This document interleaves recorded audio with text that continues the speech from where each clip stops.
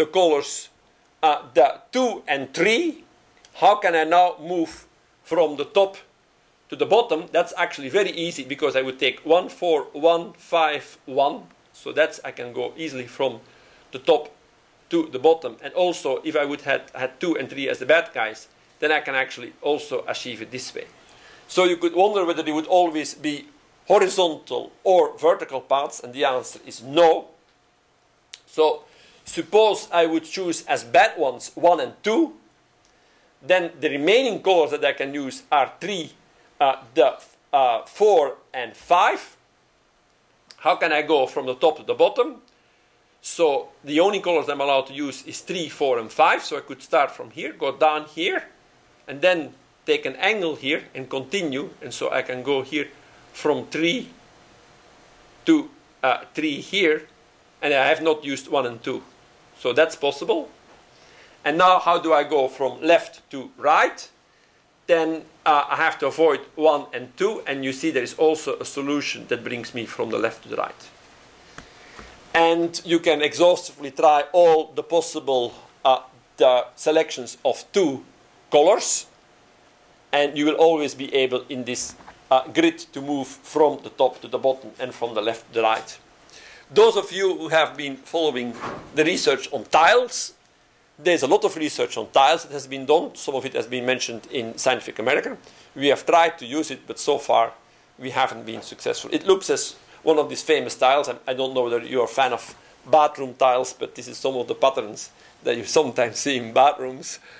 Uh, how far will it bring us in general? We have no clue. So, uh, so far, those uh, we have them for small examples. We also were able to generate variants of this for uh, bigger t's, but not really a general case. So I mentioned you before we have three types of solution. One is when t is small. And so the question is, is there a construction that works for n exactly equal to 2t plus 1, which we know is basically a lower bound. We need at least 2t plus 1 colors. Is that possible? And the answer is yes, we have a solution.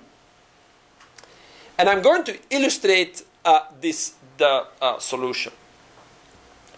So what we are going to do is we are going to list all the uh, combinations, or you could call them subsets, with two colors out of the five colors. So for example, this is the colors 1 and 2. These are the colors 1 and 3, and we see that we have a total of 10, which is 5 choose 2 columns and we have exactly the same number of rows. What does 1, 2 mean here? 1, 2 means that this column has to be free of the colors 1 and 2. Okay? And also on the row side, we also put such a label. And that means that this row has to be free of 1 and 2. And now, what we are going to require is that Evidently, the row has to be free of 1 and 2, and here the column has to be free of 1 and 4. That means that what we could put here is 3 or 5. Those are the two choices. But if you look not at 1, 4, but if you look here at uh, 1, 4, and then here at 2, 3, 5 is the only solution that you can have, because here this row is forbidden to have 1, 4, this column is forbidden to have 2, 3, that means that only one left over is 5. And so what we're going to have, here we're going to forbid two colors for the row. Here we're going to forbid two colors for the column. That means that whatever you're going to choose, there will be at least one element that remains over, and that's the element that you put exactly at the crossing. And so that shows that there is a solution for this, uh, the basically maze in which you want to communicate, even if T uh, colors have been removed from left to right and from bottom to uh, top to bottom. And the problem, evidently, is that this is uh, exponential in the T. So it's not the nicest solution, but it shows that exists a solution which is optimal in N. So in which you can achieve the smallest N. So this is another way to actually look at it. And when you look at it with colors, uh, humans are much better to look at colors than looking at numbers. And you see there's a lot of repetition there. All this red area here is just uh, basically put this uh, rotated, so it's the communication this way and this way which you want to do.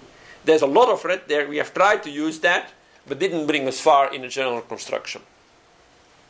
So the best what we have when we want to have an optimal n, an n as small as possible, is the exponential solution in the size of this grid. Can we do better? Yeah, we can do better. If we increase the n, if we don't go for an optimal n, but if we let n go larger than 2.948 times t, and we choose the colors randomly, then actually m can be linear in t.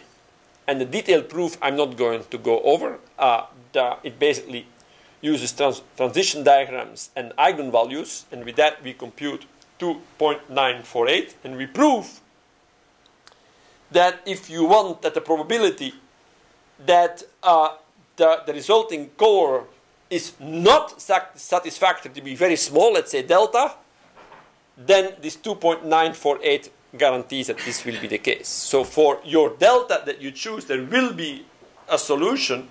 For certain delta, there will be a value uh, which is linear in t, and then when you choose that m and you randomly choose the colors, then the probability that this is not satisfactory is only going to be delta.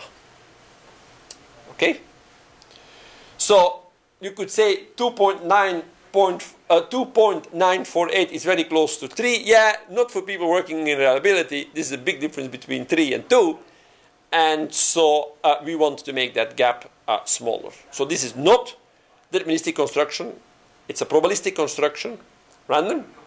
And uh, we don't achieve the op optimal n, but the size of the uh, grid is polynomial in T. So those are three different constructions that we have.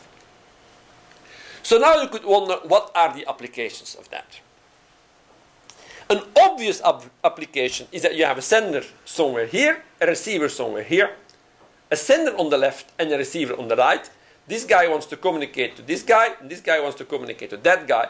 And you want now to have a reliable network in the middle. A reliable network means that it might be that certain nodes just die.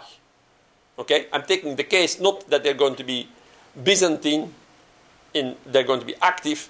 They just either are there or they die. So that case corresponds to what I was talking before when you have certain platforms. You could, for example, think about Cisco routers, and somebody finds a problem with Cisco routers and is able to shut them down. But maybe there's a, there are other routers that uh, platforms that a hacker can succeed in attacking, and using worms, you can basically replicate the attack. So a weakness on one computer is basically a weakness on a platform. And that means that if you give all the platforms the same color, that then you can shut them all down. However, nah, it's not a really nice application. Why not? It's a nice application, but there is an easy solution for if you don't require a planar graph. So it's a rather trivial solution if you don't require a planar graph. So why would we require a planar graph in this case? There's no reason for that. So this is just uh, a nice example. Actually, this was first studied in this context, uh, not for the, the computation, and afterwards we looked at the planar aspect. So the planar aspect comes from secure multi-party computation. So what is secure multi-party computation? Those of you who work on recreational mathematics may not know what uh, secure multi-party computation is. Let me explain that to you. Suppose that you are going to, to a medical doctor in Iraq. The question is who to trust. Okay? And the answer is we don't know. We don't trust anyone in Iraq. So, but you have, suppose you, you, you, are there and you get sick and you have to go to the medical doctor. What are you going to do? The typical solution is you go to the doctor and the doctor says, oh, I'm going to prescribe you a medication.